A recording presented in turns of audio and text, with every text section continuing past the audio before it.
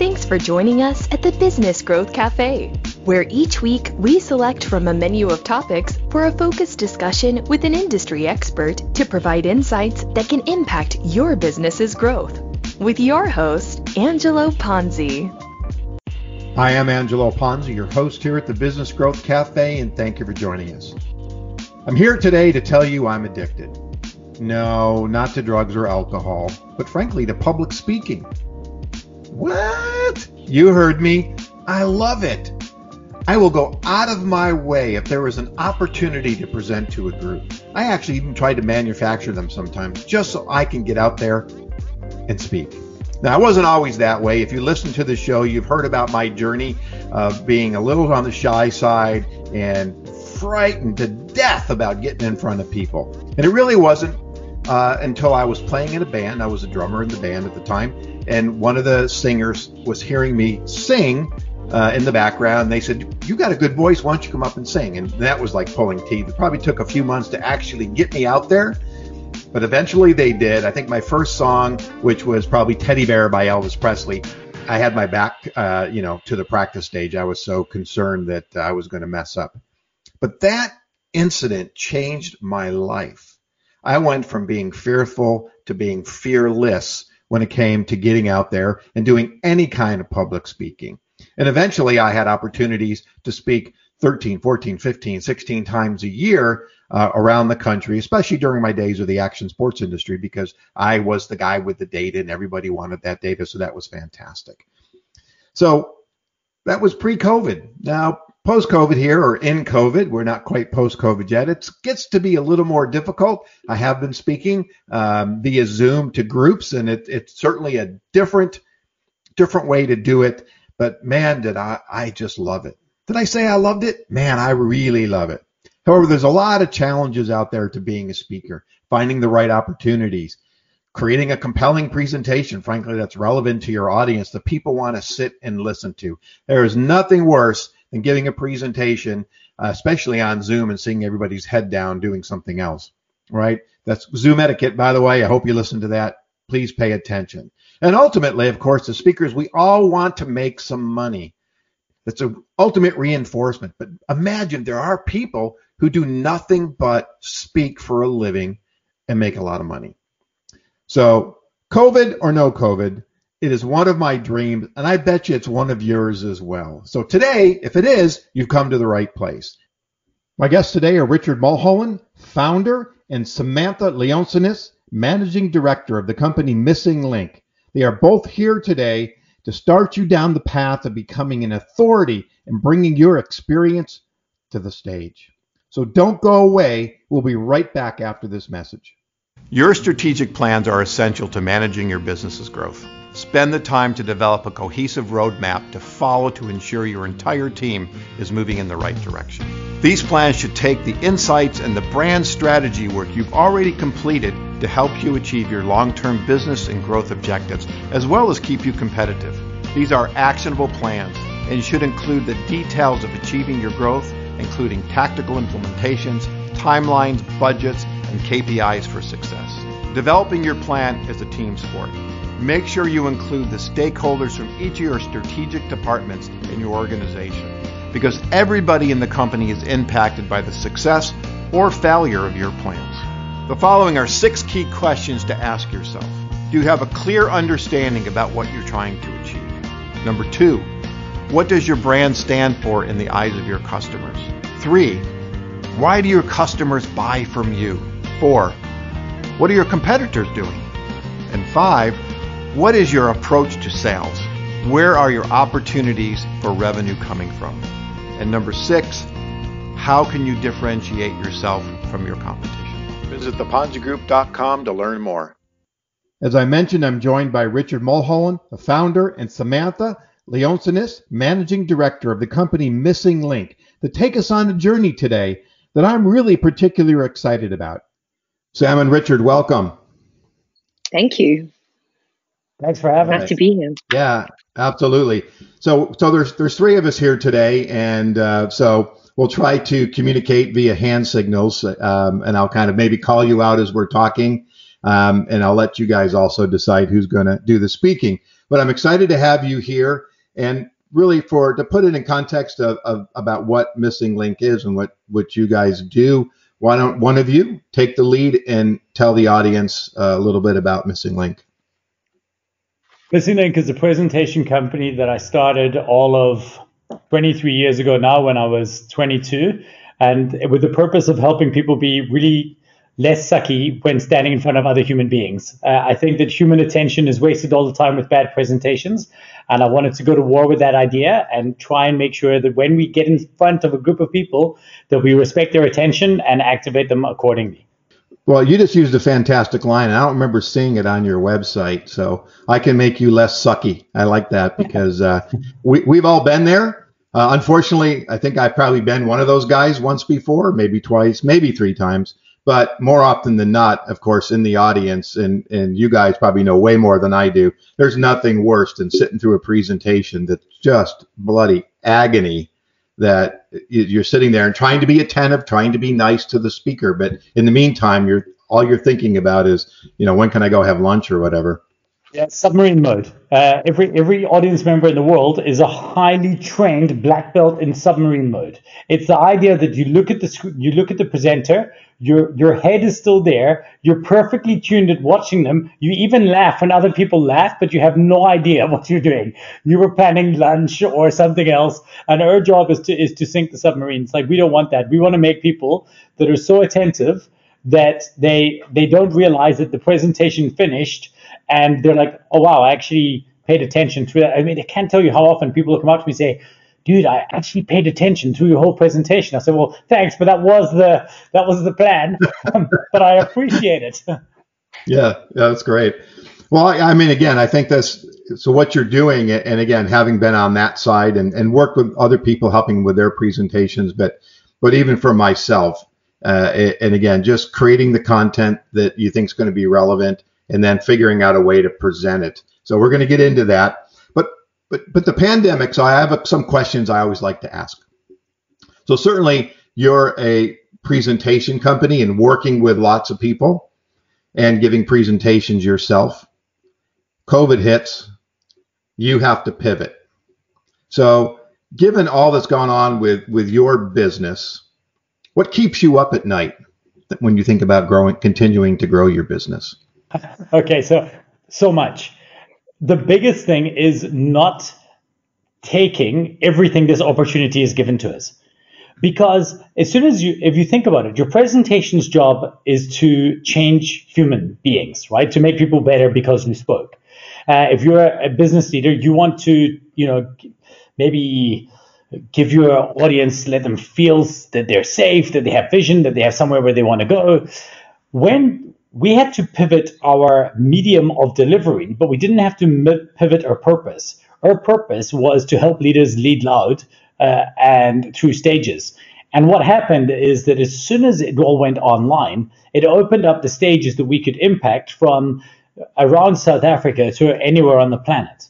And what keeps me awake at night is that we've not done a big enough job of leveraging the opportunity that we've been given for if you're an entrepreneur, entrepreneurs are driven by fixing a problem or filling a gap. That's what we do. Mm-hmm. What this did is it created a meaningful problem and a really big gap that somebody has to fill, and I want it to be us. And what keeps both Sam and I up at night is thinking about how we make sure we don't miss that opportunity. Sam, do you want to add something there? Yeah, I think so. One of the the, the, the pivotal moments that I had in the last six months with our global kind of the impact in South Africa is that I've worked with Rich on and off for most of my adult career for like 20 years. And he is um, the type of entrepreneur that's constantly looking for the next thing that we need to we need to be involved in that makes sense to our business. And it's frustrating sometimes as the co-pilot to always be changing routes. But this time, like Rich would say, Sam, this, this, and this and I check in with him three days, three to five days later and say, okay, so on that, that, he'd be like, no, no, no, we're not doing that anymore. And I'm like, what? I was like, that's, that's what you said like three days ago. And he was like, that was three days ago. And now it doesn't, it feels like that's necessary. Like we, you have to be watching and adapting all the time. It's not about standing still and, and waiting to, to see what the new normal looks like. Like that's not an option. So, Sam, I think one of your kids just killed another one of your kids. Yeah, I, I heard that in the background. This is this is not a Halloween show, everybody. Sorry, guys. Sorry about that. Working and, from and home. Ha- hashtag 2020. yeah, and I and I have to say uh, for the for the listeners, so I'm in Southern California. They're in South Africa, and I'm actually jealous because I'm over here drinking coffee, and I can I can see them, even though you can't. And Sam is over there drinking a glass of wine. So I guess that's just the time of the day. Um, but I love it. I love it. And I have to say too, um, I, I have watched some videos, and your office is freaking cool. And I've seen a lot of offices with bowling alleys and all sorts of other stuff, but your entire environment is just outrageous. I mean, I, I love the the whole concept, the bird's nest and the treehouse and and the slides and the fireman's pole. I mean, it's it looks like a freaking blast. So um, uh, I'm my hats off for all of that, man. That is that is that's a great environment, and certainly it's about the, the creativity and and freedom to explore and think, and, and maybe those are my words, but that's what I get out of all of that. So fantastic, and and you listeners, you got to go online, you got to check this out. I think I saw that uh, video on YouTube. So, so it's going to be Angelo. Yeah. I'm going to say spoiler alert, but um, thank you so much for that because that was a a really awesome project that Rich and I worked on for a long time. And we basically turned around an empty shell in six weeks and turned that into what you saw on that episode. Um, but the spoiler alert is that thanks to a global pandemic, we are one a 100% remote business. Oh, so we're going to empty office. Closed. An empty bird's nest. so so we, have we've, we've taken all, all that energy and put it into our remote working, which has been incredible. Okay. Do you still have I the can office? talk about no. Mm. Maybe two of the things. So the first thing was, as much as it was about creative space, uh, it was actually more of to prove to our customers. So in my mind, I realized that I was trying to sell presentations to people who would be paying us what for one presentation what they'd be paying their PA or their assistant a whole month's salary for. So I realized they don't have a presentation problem. They have a oh goodness, being on stage and being boring is something I don't want to be problem. So what we did is we wanted to set up an office that was an antidote to boring because they were worried that they were going to be, oh, I'm going to be so boring. The presentations are so boring. So when we built the office, it was less about us because it doesn't matter how creative your space is. After one week, it's just your desk. It's just work, right? And and so that was so it was it was partially marketing, partially attracting the right type of individual to come and work in an organization. But one of the biggest limiting factors, it was two things that led to us closing it. So it was already our strategy to close it before COVID struck. Uh, it was two reasons for it. The one was that it geographically anchored us.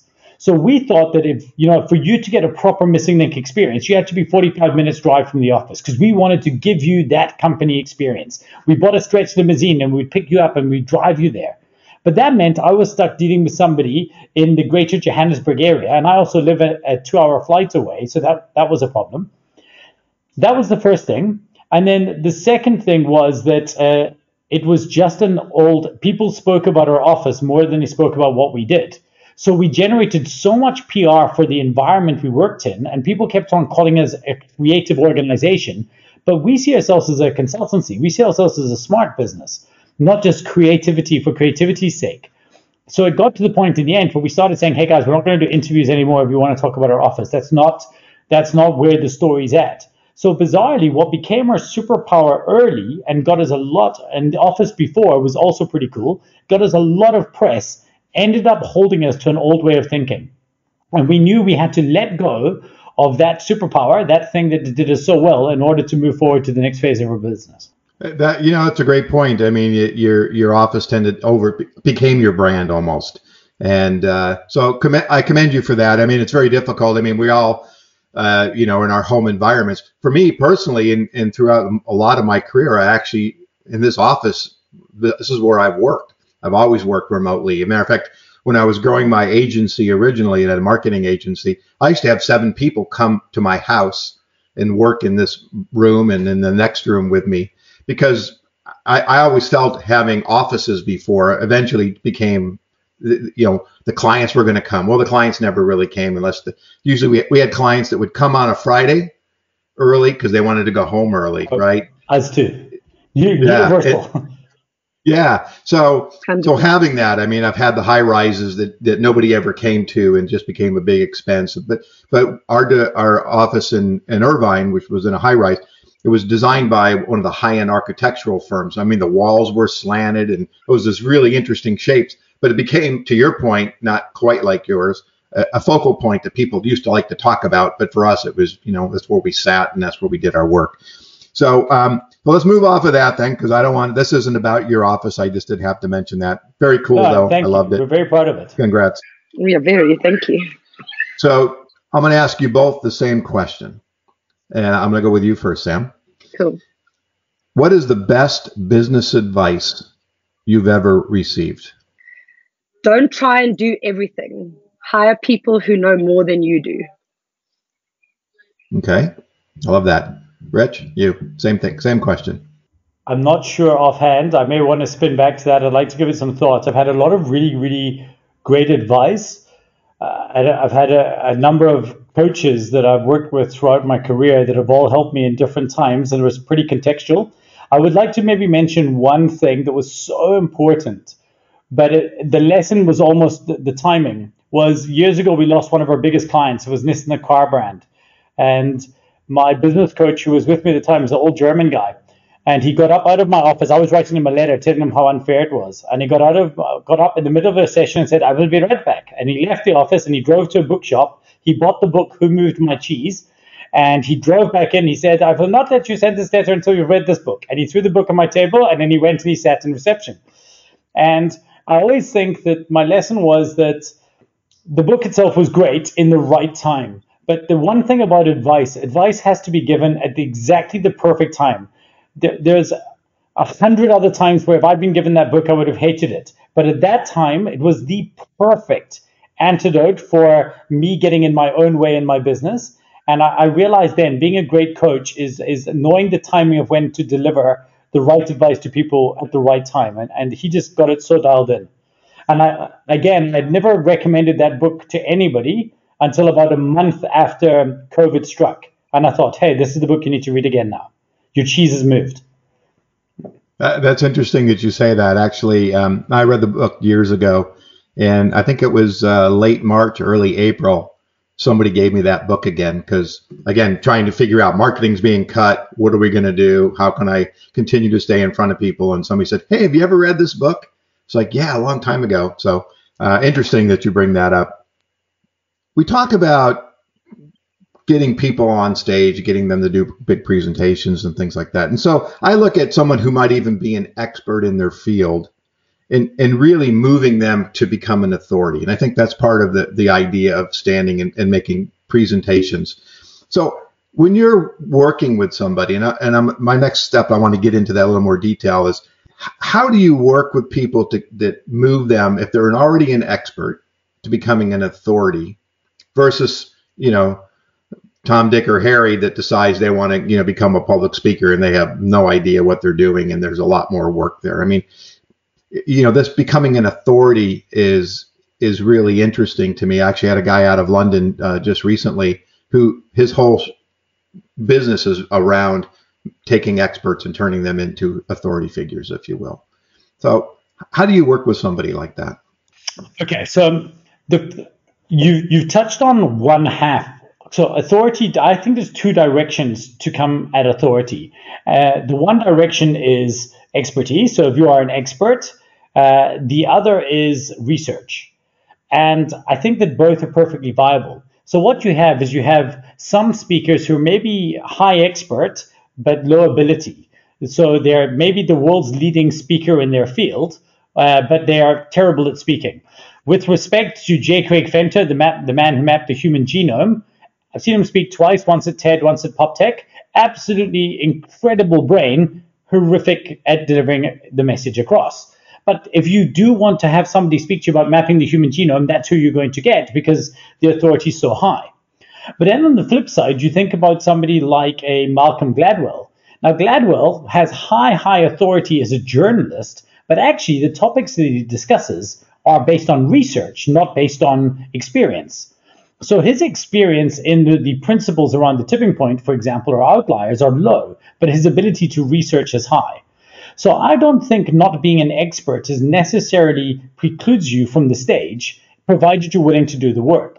And then, of course, you've got to work on the other side, which is ability uh, to make sure that you, you know, you can get across the story. So if you, if you are low expertise, you can't get away with being low ability.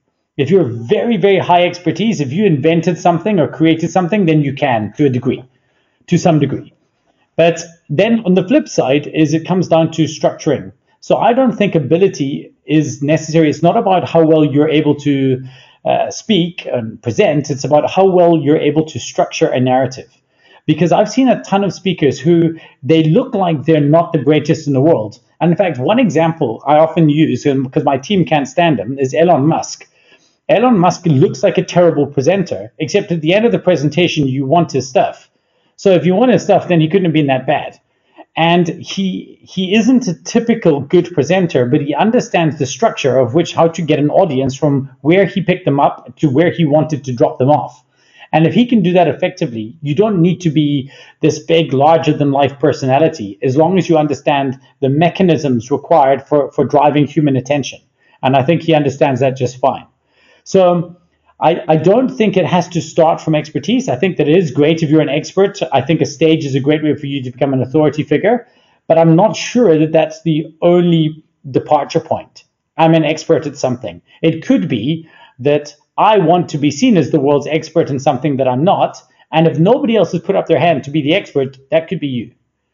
Simon Sinek is the world's leading expert on the word why, and nobody can tell me what he did for a living before he did that TED talk. Like he had no reason being there, but he decided he put his hand up, and he is. that's a great point. It's a great point. There's a, a gentleman I won't use his name, but and I've had a lot of conversation with him. He he makes his living speaking, and a lot of times I'll talk to him, and he'll say, "Yeah, I'm, I'm researching a new topic. Somebody asked me if I could talk on it." He has no experience. Matter of fact, he had no experience in the topic that that made him you know, I won't say famous, but propelled him into the world of public speaking and getting getting paid for it. And now that's all he does. He looks for topics. He re- he spends his entire days researching ideas, and then if he finds something that's relevant, he'll go research it, create a presentation, then start marketing it. So, but he's not an expert in it, to your point. But he but he's researched it, and, and so he has all the details that he needs to have. So that's, anyway, yeah, that's where it would have to be, right? So he so many people hold themselves back from taking to the stage because they they feel that they're not an expert enough in a category. But turning up and speaking and doing the research is actually often enough for what most people need from it. Uh, I think, yeah, I yeah. think that's a, even experts would do well to start with research being the basis for your for your talk.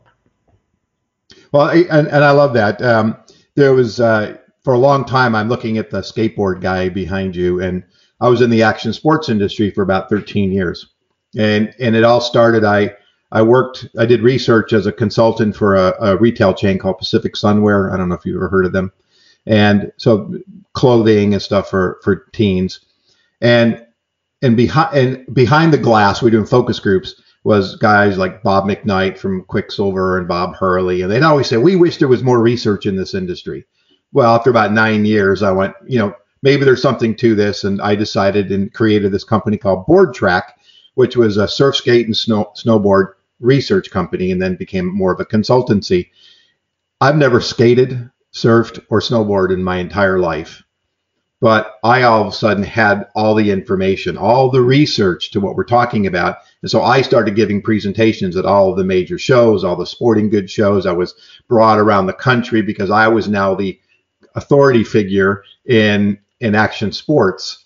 And, and it's a it's a long journey. Trust me, they didn't accept me right away because you know I was a New York kid out in California. But to your point, I had that research, if you will, that turned me into that guy versus I was the expert trying to flip it. Um, so anyway, um, so there there's a there's a process.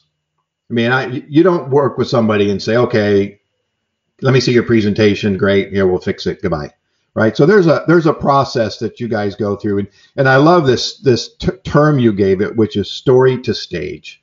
Um, That I love that. That that is so descriptive, and it's about a nine-step process. So let's let's talk about this. So how do you typically engage with somebody, and and how do you work them through this process, and and also the time. I mean, this doesn't this doesn't look like something that happens in in two weeks, right? This this takes a little bit of time. So t- let's let's delve into your story to stage. So I'll take you from the point of which we decided to start it and why that was, because it's so much more than writing a talk. If you can have the world's best talk, which is like a, beautiful fall leaf lying on the forest floor, it doesn't matter how pretty it is if nobody knows it exists. You know, it's not going to be it's not going to be heard. And where most speakers they get a couple of problems wrong. One, they think their job is over when when the mic drops. So when the the audience applauds, uh, that's not the end of your job. That's that you finished the marketing component of your project, and now you've got to convert their audience into your audience. And I was frustrated that most speakers weren't understanding this. That they thought that you know I'm going to go out there, I'm going to get paid a fee, and then I'm going to do my talk, and then I'm going to be a paid speaker. And I don't think being the speaker is. And I look, not to take away, I've been a, a professional paid speaker for the last 17 years, and I understand that you can make really good money. But last year I got six figures from uh, for speaking, but I got seven figures from it because when you get off that stage, if you've done your job well enough, and that doesn't mean being overly salesy, you can absolutely convert their audience into your audience. So that was a departure point. The other thing is that most speakers don't understand what their area of authority is. And they limit themselves to become a stone's throw speaker, a speaker whose influence is as far as they can throw a stone because they'll hit somebody else talking about the same thing. So you're a sports person who went through adversity and you want to talk about that. You want to talk about the one trophy you won or perseverance or, or you're a marketer or you want to talk about using AdWords, whatever. You can hit, you know, that's not going to be your corner of the universe that's going to have any influence. So I wanted to create a process to help people, first of all, understand what is a small corner of the world that you can own. To me, a brand is simply a, an area of real estate in somebody else's brain and somewhere there's a there's a blank plot of land available for your flag. And most speakers are happy to plot themselves into an overpopulated territory and just add themselves to the mix. I believe that you should try and be out there and find a frontier in which you can own your space. Once you have that, well, then we have to work out what that looks like and what that talk is. And we actually get our speakers to create the sales material for their talk before they've made a single slide. Then you go out and you sell it. And if nobody buys it, you tweak it and you sell it. And then when somebody buys it, which will help you through, then and only then do we start worrying about how to make a talk. Because, and there's a great jazz musician, Duke Ellington, he says, I don't need time, what I need is a deadline. You can spend with Parkinson's law, you'll spend, if you've got six months to make a keynote, that's how long it will take you to make. But if somebody's paid you to show up on a stage next week, Thursday, well, then that's how long it takes. And so that's the job is we want to get you a booking and then we actually build the content because you're crapping yourself enough to know that you have to do this. Once we get you onto the stage, obviously we want to help you with your technology and, and how to use it and your stagecraft because it turns out stagecraft matters, and especially now in presenting online. And then finally, we want to make sure that you amplify and build your audience afterwards. So we have nine steps to take you through getting to try and build an engine a lot of the your guests can't see, but there's a lot of board games behind me, which is my passion. And my favorite genre of games are engine builders, games that that where you're actually building a better machine, and then eventually it ticks over, and you've got this this, this profit generating thing. And that's what I think a public speaker should be doing as well. They should be building an engine. So I think the only thing that Rich didn't really touch on there was how long the, the program is and what it looks like. Um, so basically, the process is you apply um, for for an interview and a discovery phase pre the actual program. So it's really important for us to ensure that you know at the end of the day it's it's our reputation on the line and we want to make sure that everybody goes through this program and becomes like a success. So we've got to make sure that that there's a fit. So there's quite a robust um, discovery and interview process that happens beforehand. Um, and then once you're accepted to the program there's a a week or so of onboarding just to kind of get your frame of reference into the right space and make sure that the right lenses are on. And then it's at the moment we're still in pilot phase, so it's running ideally in a three month program, so 12, 12 weeks with three calls a week. So the calls are not mandatory at all, and it's not where actually the the, the program sits. That is where the community sits and the the um, the sharing and a, a, lot of the advantages and learnings, but that's where the questions are asked. So as you go through the syllabus, if you've got certain questions that come up, you you open them up to a platform where Rich and the team will address those questions, but also pose them to people within the cohort or, or, on the program with us, which is really powerful because you've got people looking at it from different industries, different walks of life, different perspectives, which is really cool. Um, but for the most part, the program happens um, asynchronously. So you have access to a bunch of um, collateral and uh, videos, and then we work in workbooks in Notion that give you um, basically a full playbook at the end of the program. Richard, do you want to say something? Yeah, I just wanted to add that what, when we worked through this, it was a big frustration for me is that a lot of even what we had done in the past, where I felt that we developed talks for speakers. Speakers came to us, they paid us, we worked through them. Our team went and developed the content and made made material for them, coached them, and, and sent them on their way. It having the deck wasn't effective enough. And I see a lot of these programs. It was something we originally considered doing, where you know we work together for a week, and at the end of this one week intensive, you're going to get a, a talk, and you're going to be able to do it. I simply don't think that works I don't think this is a week long process. It's there's so much discovery internally for you to do to figure out what corner of the world you want to own. We, we're forcing people into three months and they're getting uncomfortable with the clip that we're, we're asking them to move at. And that's three months.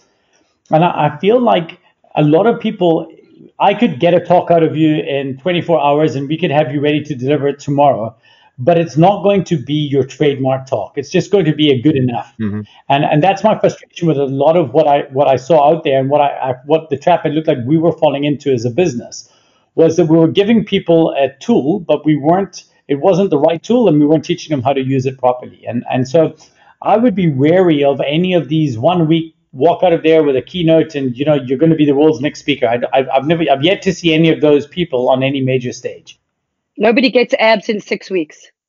Yeah, well, exactly. and if you figure that out, let me know. Um, the uh, so you said a couple things that are really interesting.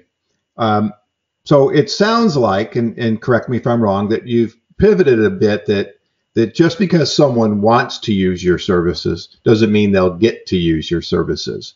That you're being more, I won't say the word selective, but you're putting them through a screening process, probably I would imagine I do that when I talk to a prospective client. I don't t- take everybody. Hey, I'd love to get their their their income, but a lot of times they're just not the right fit. The, the way they think. I mean, I've had people call me and say, I don't believe in marketing. Convince me. Pass. Not interested. Right. and then I get why. I said, because we're going to have this conversation every day. No matter what I do, you're not going to think it's moving the needle or whatever it is. So I'm not, I don't want to work with you. It's just not a good fit. So I would imagine you get some of that, right? Hey, so I want Tom comes along, Mary comes along. I want to be a speaker, make me a deck, and they kind of go through the motions, but maybe they're not the right fit for your program. They may. In, so first of all, yes, and we've turned away. I would say probably a third of the speakers who've approached us. Um, because I actually just say to them, like, you're going to give us your money, and I'm not sure this is the time and this is the right program for you there are some presenters where there are some people who've not been right for the program, but we're happy to make them something in our business. You know, the the the more legacy business can say like we can help you create a sales deck for your. That's no problem. We do that all day long. But uh, my, my friend Howard Mann, I don't know if you've ever had him on the show, but he he says you you define your business by what you say no to, and I've always held that to be true. Like Missing Link, when we started, even though I'm an entrepreneur myself, we had a zero entrepreneur policy. We would not deal and this was up until recently, maybe four years ago. I would not accept money from somebody who was paying it with their own checkbook because they're nightmare crappy clients. They they want to they're actually spending money, whereas everybody else we dealt with is spending budget. And I would rather deal with somebody spending budget over somebody spending money, you know, all day long. This was one of the first times that not only are we dealing with, we're actually dealing with the person who pays us the money is the person going through the program they're on the hook. And so we actually want people who care. The one person so far that's kind of didn't work out in the program, uh, and it's been a real big hit. We've had one person who wrote us a letter to apologize, and this dude was basically too wealthy And the investment he made in us, well, it seemed like a cool idea, but it was never going to give the time to make it work. He was like, nah, you know, it didn't matter. Whereas everybody else, we want to feel that this matters. You're making a go for this. And we explained to them, so part of our metrics as a business is dependent, and we don't take commissions off our speakers, but part of our success metrics as a business is depending on the dependent on the billings of people who go through our program. So our success criteria and the bonuses that we pay out and get to our team is dependent on how well other unrelated human beings do. And we have no control over them. We can try help push them, but we, we can't do it. So that means that we've got to make sure that the people we let in are going to be likely uh, to succeed in the program because my bonus is dependent on you doing you doing the work.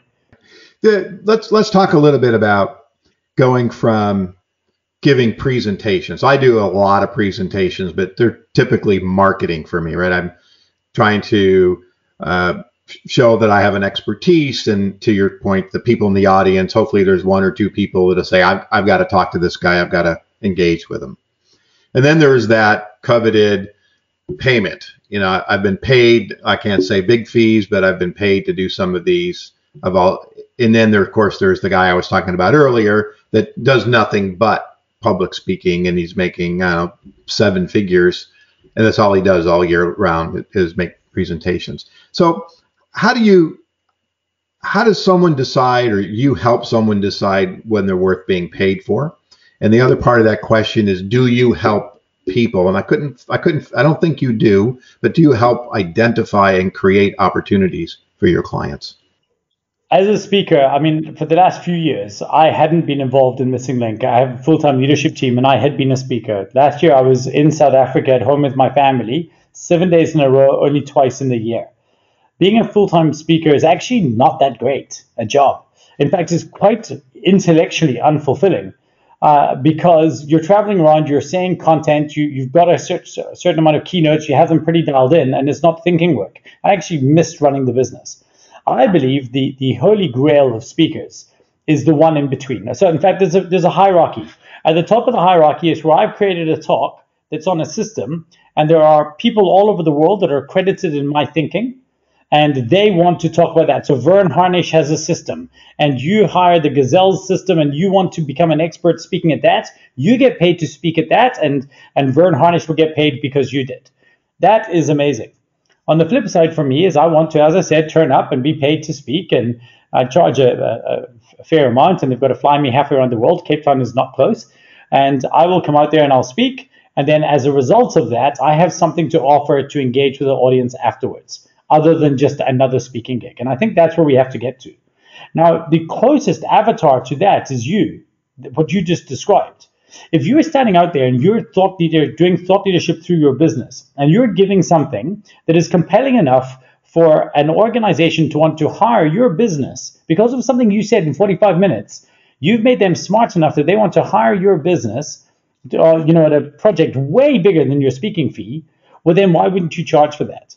The only reason you're not charging for your talks is because you've just not decided to. There's literally no more science in that. It's not that you shouldn't, it's just that you are not charging. So the next time somebody contacts you and says, Hey, um, Angelo, I'd like you to speak at this marketing summit, there's two things you have to do. First of all, when they try and give you a topic to speak about, you say, No, this is what I talk about. And the second thing is when they say to you, Would you be willing to do it? Say, Sure, no problem at all. My fee's $5,000. I'll happily come out there. And then, you know, somebody says yes, and then you're a paid speaker. And then you realize, Wow, it was that easy. Most people just say yes because somebody else asked them to say yes. And because the client didn't offer a fee, they just are too embarrassed to ask for one. Everybody who asks me to speak at their conference, I say, thanks so much. I really, really appreciate that. Here's my fee. And uh, then they either pay it or they don't. It depends though. I will speak at events for free, definitely, if they're the right audience. Because in my mind, there's three ways for you to make 100K speaking. One is to do, you know, 25K jobs and then you better make sure that you have a you know like really good marketing engine and things like this that you've got to sell yourself. The other is to do five 20k jobs and then you know you probably need a new york times bestseller or a ted talk. And the third way is to speak at the right audience for free and then you, you know make it off business from there. So you've got to decide where you fit on one of those three things but we all should be paid when we get off stage. So in terms of um, are you, are you referring to do we help you book stages? Is that is that basically yes. what you're asking? Yeah. So, Angelo, we don't book stages for our speakers. What we do have is we we share our network and our and our um, opportunities. So we obviously we I say obviously Missing Link has worked with every I would say pretty much every big corporate um, company and enterprise in South Africa. We have a lot of access to the corporate market in terms of that kind of avatar for speakers.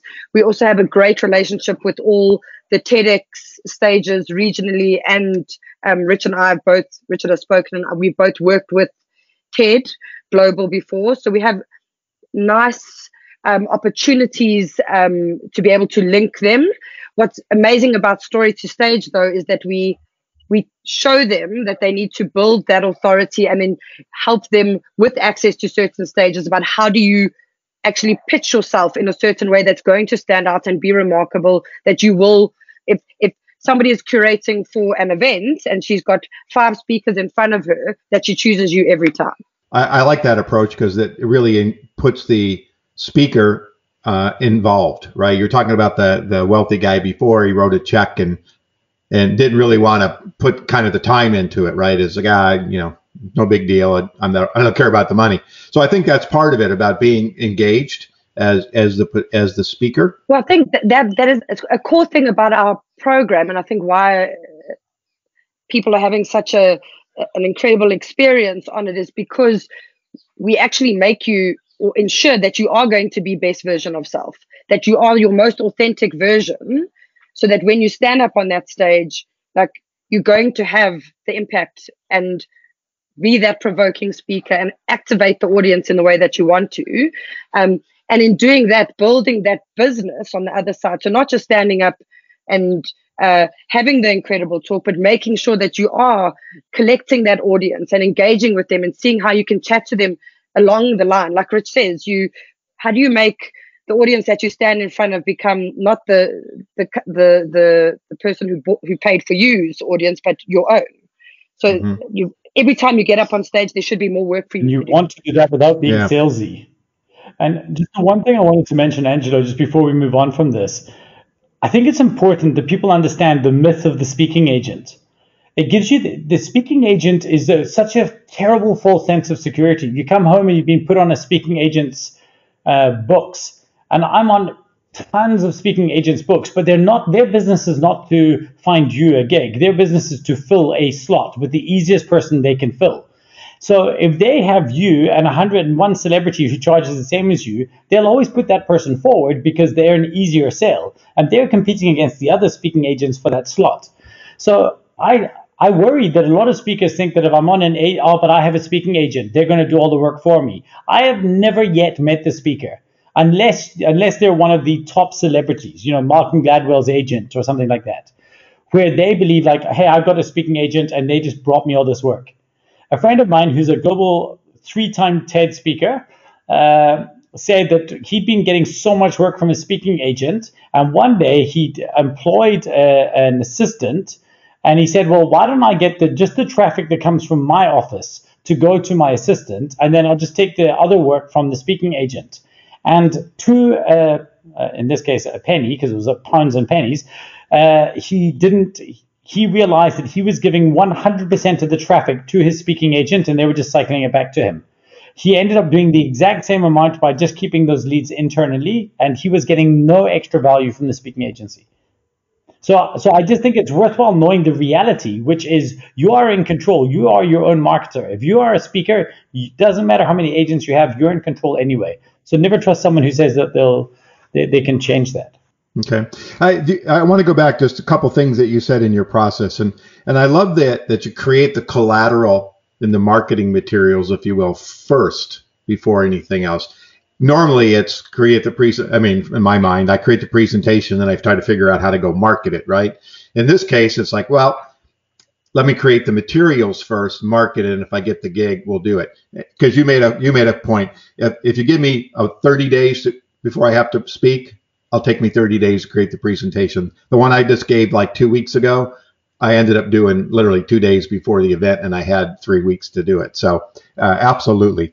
The other thing that I, I find in, in your process is is about the audience and how to build the audience and, and utilize the audience was there for future business, future work, whatever it happens to be. Because so many times, you know, after uh, I give, you know, when there were live presentations, people come up, they congratulate you, do all these things, and you grab a bunch of business cards, but you know they're not necessarily the a relationship and trying to build those, and depending on if you can get a hold of the list and stuff. So I, I find that you know, for me, it's like a ta-da. Of course, I understand that, but you know, it just reinforced that is something that we constantly need to do um, when we do that. But but I did want to ask: is you're working with people certainly in in getting them prepped, let's say, for on stage, but now on Zoom, right? So how has that kind of changed your process and how have you had to pivot to you know i mean again for someone to because ultimately if they're doing a zoom meeting a lot of times depending on the nature of it if they're using slides for example they're usually just a little square box on the screen versus if they're doing some kind of uh, you know full screen and just talking and not having any strong visuals. I mean it's definitely a different game now. So how do you guys address that? So the first thing is you can decide to not make that the case. I'm doing a, a, a presentation this week for Prezi, and Prezi has a tool called Prezi Video. And Prezi Video allows you to create very, very easy picture-in-picture slides. So you can control, you can have a slide up next to you like a newsreader, it can be full screen. And what I particularly like about Prezi's approach is that it doesn't require a green screen. It's not trying to do anything behind you. It's operating in the space in front of you. So it actually says, well, hey, I'm not going to have to key out anything. So I'm in complete control of how I share my slides. If you can see my camera, then you can see my slides. I don't have to share anything separately, and there's ways to work around that. Of course, there are ways of sharing in Zoom where in, in Teams, you'll always be either a big screen or full screen you or a small you. We actually teach people how within Zoom, there's actually a lot you can play with to make sure that you're 50% of the image and your audience is, and your slide is 50% of the image. And in fact, so to me, this is your biggest opportunity. The fact that presentations are happening on Zoom, it has never been easier for you to get speaking gigs because now nobody's taking the risk flying you halfway around the world. Now you could be that person, say, "Hey, this is what I want to do. This is this is my idea," and they're like, "Yeah, sure, let's do it next week Thursday," because they can. So it is an upgrade. The other thing that I think people are doing wrong is they're trying to get too fancy. So there, I don't know if you've been to any of these webinars and things where they've they've got these full 3D virtual studios, and you've got this person who's standing way far back, and they're you know all the way over there, and like that's not that's not a, the stage was never a feature. The stage was always fixing a bug. The reason that I'm high up is so that the people in the back rows can see me. And now what's happened is everybody has a front row seat. So we teach people how to engage, where to look, how to utilize this. And it turns out if you can just use one or two small little tools better than the other person, because the barrier to entry is so low, the quality is also so low. So in the land of, of two and three out of tens, if you're a four, you're winning. And of, of course, we want our speakers to be higher than that. But a couple of small little tips will get you so far ahead of everybody else, just standing when you're speaking. Most presenters now are presenting mm-hmm. from their bums. I don't understand what happened. I saw this stand-up comedian, and he, he made this joke at the beginning of his set. He said, "You know, for the last 25 years, I've been a stand-up comedian. For the last six months, I've been a sit-down comedian. Why? Why are you sitting down, bro? Stand up. Show your audience that you're engaging with them." So there is certainly a couple of small little hacks and tips. In fact, that's one of the easiest things. I think for a lot of us, for, for myself, I definitely prefer uh, presenting this way. In fact, I want to start now controlling. I was a lighting designer in my past career, I want to start making it that when I change slides, my whole lighting state changes. Now I'm now I'm my own crew. So now I can be stage crew as well as the speaker. Like I've never been more excited. It's a great time to get into this or to be excited about it. Okay. Yeah, I was a great. I was going to comment uh, standing up versus sitting down. Obviously, it's. I think all the presentations I've given is sitting down, and you know I'm a I'm an Italian, so you know my hands are waving, and I I need to move, and I find a lot of times getting that energy sitting is it, it, I have to really dig deep to make that being really enthusiastic when I'm presenting because you know I'm just sitting. It, it's not not quite the same. A lot of great content here. You've shared a lot of wonderful things. So I have one last question for both of you, and I'm gonna go with you first, Sam. Sure. What inspires you every day? What when you get out of bed, what inspires you? Eh, like in this year? Well, yeah. sure. In, the, in, the, in this you tell year, me. In this year, I guess what inspires me is that every day seems to look different. Time has almost stood still, and and how quickly things change and evolve in such a short period of time has also made me realize that like time is really like a, a, a a form of like something we need to be more pressure and need to take be more cognitive of, should I say? All right, cool. Rich, same for you. The, what, what inspires me and what, what maybe excites me uh, right now is the fact that I think that we're going to look back at this. People talk about this year as a crisis and pandemic, and, and I see people on Facebook wishing it was over. I think the future, future you is going to look back at this and hold current you accountable to how you behaved because future you, you is going to look back at this and realize this was the greatest accelerator uh, in your career. This was the most accelerated area of growth in your entire career. And if you look back, if I future me looks back at current me and says that all you did was make TikTok videos and fill out quizzes on Facebook of what kind of rock star are you, uh, you'll be deeply disappointed. I want to make sure that if the world is accelerating, that we as a business and us as thinkers are accelerating with it. I don't want it to get away from me. And, and that I think is a, a tricky space because it's moving so fast that I want to be at the front of the charge pulling it uh, rather than getting left behind. And the fact that, you know, despite going to uh, revenue zero in March, the fact that last month was our best month in our company's 23 year history means that as of now, we're managing to keep the pace. And I'm, I'm very excited. We'll leave it at that. So, um, one of you, uh, why don't you tell the audience uh, how they can reach you and connect with you and your website and all that good information? So, uh, if you go to ineedmissinglink.com, you'll see they'll direct you to our site and you'll be able to see all the offerings we have. And if you want to get in touch with me personally, if you go to getrich.af, uh, you'll be able to connect with me on LinkedIn, where I'm quite, uh, that seems to be my platform of choice, but it's linked to all my social profiles there.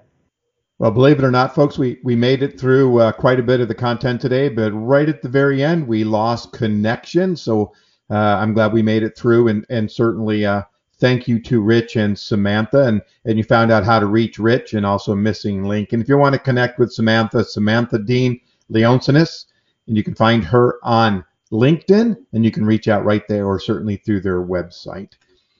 I want to thank you again for sticking with me here at the cafe today. This has been a great conversation. I really enjoyed talking about presentations. It's, it's something I'm very passionate about, and, and I strive to do as many as possible, as I mentioned.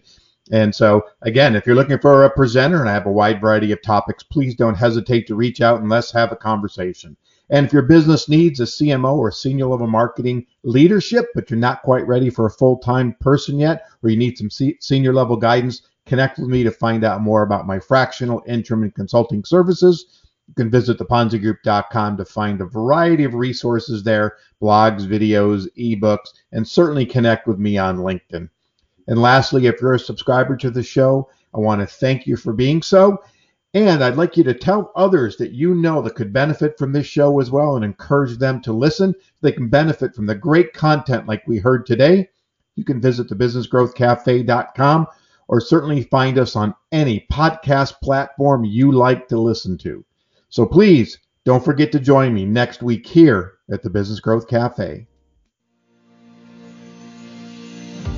Thank you for listening to today's discussion at the Business Growth Cafe with your host, Angelo Ponzi. Take a moment to subscribe to this podcast and visit our website at www.businessgrowthcafe.com. Read Angelo Ponzi's blogs at www.theponzigroup.com.